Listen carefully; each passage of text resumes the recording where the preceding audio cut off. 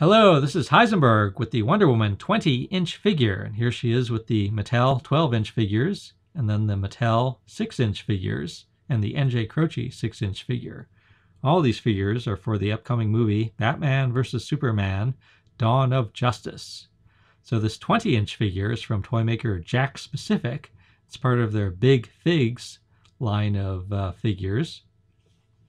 And we'll get a look at her here. She's actually, this one is actually, oh my word, look at all these holes on her back. She's actually a little shorter than 20 inches. She's actually sort of between 19 and 20 inches. But she's being sold as a 20 inch figure. And I think, despite the holes in the back, I think she's a very good looking figure. And uh, seven points of articulation, so the head moves back and forth, uh, the constrained by her hair. The ar- arms move at the shoulder all the way around, the wrists move all the way around, and the hips move a little bit forward, a little bit back. And so that's those are the four, excuse me, those are the uh, seven points of articulation. Now, again, I think she's a good looking figure. I was a little worried uh, before I saw it because, again, Jakks Pacific, they make a whole line of these big figs, uh, large figures. Uh, you've probably seen them at Toys R Us like there's a lot of a lot of them for Star Wars characters and also some for uh, yeah Batman, Superman, and Spider-Man. And some of them they're different sizes. This is sort of like the 20 this, the 20 inch is actually the smaller of the sizes. They got some that are kind of like a yard tall. And my concern was that they tend to look to me they tend to look like uh, you know lawn furniture. They tend to look like uh, or lawn decorations, I should say, like uh, pink flamingos you know, kind of look kind of cheap and hollow. But this is actually, yeah, again, this is looks like a real action figure. Uh, the you know fairly simple, but uh, but again quite uh, well made, quite pretty. It's like I really like the face. I think it's a pretty looking face. I think the uh, costume, yeah, I think it's a good looking costume. It's sort of, uh, you know, this is sort of like you know with the Mattel line of uh, figures. They've sort of like got their more, you know, less expensive figures and their more expensive figures. So this is sort of like more like the less expensive figures, and that there's you know it's fairly simple, uh, simple uh, and limited articulation, but still good looking. Again, it's like a uh, you know a very good looking, good good looking figure, good quality looking figure. Uh, doesn't look, doesn't look cheap. Uh, again, very pretty face, but it is sort of like uh, so it's sort of simple but extremely well done. So the actress uh, playing this role of Wonder Woman in the film is Gal Gadot.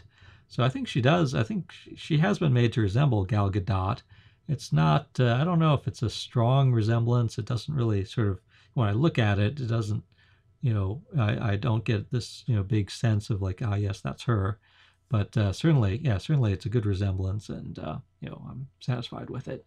So let's look at the costume here. So in the movie, I think it's uh, it's the costume's not going to be quite so brightly colored, but it's but most of the toys are brightly colored, have the bright sort of like gold, you know, red and blue like this. So that's and that's understandable, you know, these being toys. So her hair has two different tones to it. It's sort of black and uh, with uh, you know dark brown highlights. And then here's the boots. Of like they got they got them sort of like a solid color, and the more expensive Mattel ones they sort of you know have some skin tone underneath. So okay, so here's here we're comparing her with the 12 inch Mattels, the less expensive on the left, the more expensive on the right. And it's interesting how they all have you know like obviously different faces. And uh, you know side by side, I think the 20 inch is the prettiest faced. So let's also add in the NJ Croce bendable uh, Wonder Woman, which is about a little less than six inches tall, and also has a very good face. But again, it's sort of it's it's a little hard to compare side by side here because it's so much smaller. Uh, but yeah, I think they all I'm, I think they all look good. But actually, it's like the face I find the prettiest right now is this Jakks Pacific uh, face. Again, maybe because it's it's larger. There's a little more. You know, they had more. Uh, you know, more room to, to work on her, or don't know what, but uh, yeah, I really, yeah, I really like it. So that know, there they all are. And notice the costume is fair is pretty simple. That there's no, yeah, there's no golden lasso, no uh, shield, uh, no sword. And then this is how it comes in the box. So there's, yeah, there's the back. It's sort of an open box. Again, I'd expect, as I said, I think you could probably find this at Toys R Us, though I haven't seen it in my Toys R Us store yet. Uh, yeah, so it's part of Big Figs. As we'll see in the back, it's uh, they're also making two Batmans and a Superman for the film. So there's making uh, four of them all together. We'll see that uh, after we're done looking at the sides. We'll see that. See, so I'll see that a little more. See, actually, I think she looks better in person than she does in this promotional photo.